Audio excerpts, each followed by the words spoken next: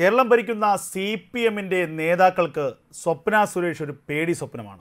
ഇടയ്ക്കിടെ സ്വപ്ന സുരേഷ് ഓരോ ആരോപണവുമായി രംഗത്ത് വരും. ആരോപണം വെറും ആരോപണമല്ല മറിച്ച് അതിനുള്ള തെളിവുകളും നൽകിക്കൊണ്ടായിരിക്കും സ്വപ്ന സുരേഷ് ഓരോ ആരോപണവും ഉന്നയിക്കുന്നത്.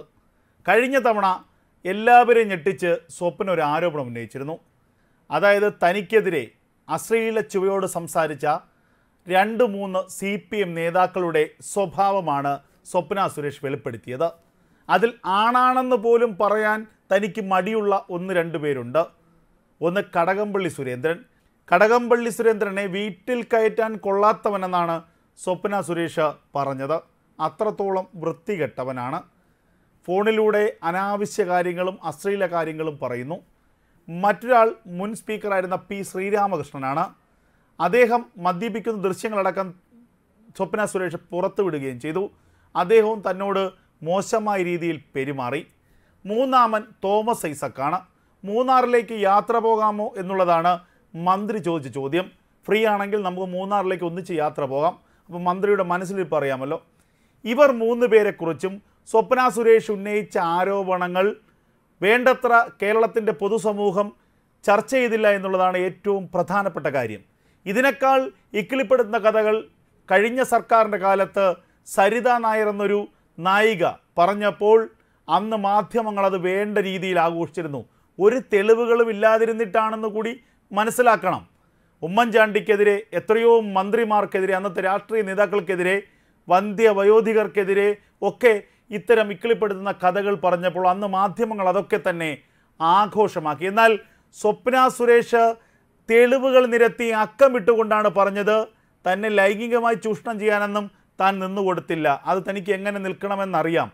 എന്നാലും ഈ നേതാക്കളുടെയൊക്കെ രാത്രി സ്വഭാവം പകൽ എന്തു മാന്യന്മാരാണ്. പക്ഷേ ഇരുട്ടിക്കഴിഞ്ഞാൽ ഇവരുടെയൊക്കെ സ്വഭാവം ഇങ്ങനെയാണ്.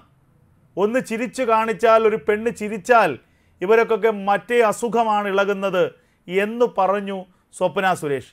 സ്വപ്ന ആരോപണത്തിൽ ഇപ്പോൾ ഉറച്ചു നിൽക്കുന്നു എന്നുള്ളതാണ് യാഥാർത്ഥ്യം. ഇന്നൊരു മാധ്യമത്തിൽ നൽകിയ അഭിമുഖത്തിൽ സ്വപ്ന പറയുന്നത് തന്നോട് മോശമായി പെരുമാറിയ മുൻ മന്ത്രിമാരുടെയും നേതാക്കന്മാരുടെയും തൊലിക്കട്ടി അപാരമാണ്. പന്നിക്ക് പോലും ഇത്രത്തോളം കട്ടിയുള്ള തൊലി ഉണ്ടാകില്ല. ഇവരൊക്കെ ആണാണെന്ന് പറയാൻ പോലും തനിക്ക് ലജ്ജയുണ്ടെന്ന് സ്വപ്ന സുരേഷ് തുറന്നടിച്ചിരിക്കുന്നു. അത്രത്തോളം മോശമായിട്ടാണ് തന്നോട് ഇവർ പെരുമാറിയത്. താൻ ഇത്രയേറെ തെളിവുകൾ നിരത്തിയെന്ന് സ്വപ്ന ചൂണ്ടിക്കാണിച്ചു.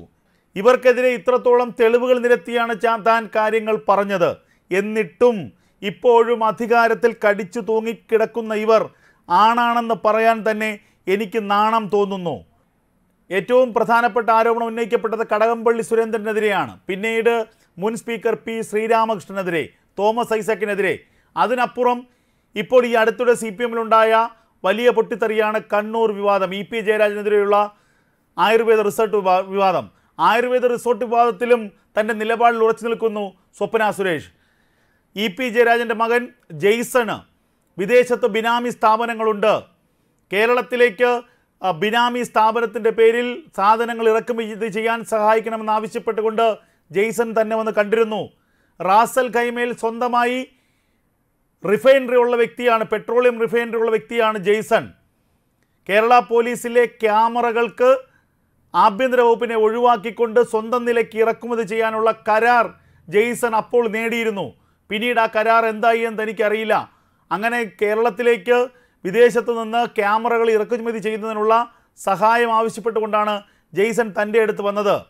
വലിയ ഡീലിങ്ങുകളാണ് കഴിഞ്ഞ സർക്കാരിന്റെ കാലത്ത് മന്ത്രിമാരും ബന്ധുക്കളുമൊക്കെ നടത്തിയതെന്ന് സ്വപ്ന സുരേഷ് വ്യക്തമാക്കുന്നു. സ്വർണക്കടത്ത് കേസുമായി ബന്ധപ്പെട്ട് താൻ അപ്പോഴേക്കും ജയിലിലായിരുന്നു. പിന്നീട് ഈ ഇറക്കുമതി കരാറിന് എന്ത് സംഭവിച്ചു എന്ന് തനിക്കറിയില്ല.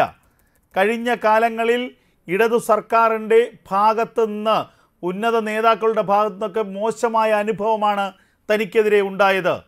എന്തായാലും ഡോളർ കടത്ത് കേസിലും സ്വർണക്കടത്ത് കേസിലും താൻ ഈടിക്ക് കൊടുത്ത രഹസ്യ രഹസ്യമൊഴിയിൽ ഉറച്ചു നിൽക്കുകയാണ്. മുഖ്യമന്ത്രിക്കും മുഖ്യമന്ത്രിയുടെ കുടുംബത്തിനും സ്വർണക്കടത്തിൽ നേരിട്ട് ബന്ധമുണ്ട് എന്ന മൊഴിയാണ് ഇടിക്ക് നൽകിയത്. അതിന്മേൽ അന്വേഷണം നടക്കുമെന്ന് പ്രതീക്ഷയുണ്ടെന്നും സ്വപ്ന സുരേഷ് വ്യക്തമാക്കുകയാണ്. എന്തായാലും സി പി എമ്മിലെ മുൻ മന്ത്രിമാർക്കെതിരെ നേതാക്കൾക്കെതിരെ അതിരൂക്ഷമായ ഭാഷയിലാണ് സ്വപ്ന സുരേഷ് ആരോപണം ഉന്നയിച്ചിരിക്കുന്നത്.